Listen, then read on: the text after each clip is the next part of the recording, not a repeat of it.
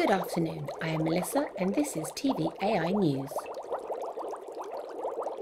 Since governments all over the world have disclosed the existence of aliens and advanced technology, we have been seeing some strange and wonderful changes in our world.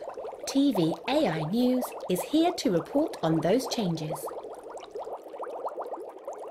Today we have a representative from our government, Mr T Jones, live via webcam. Good afternoon, Mr Jones. Good afternoon, Melissa.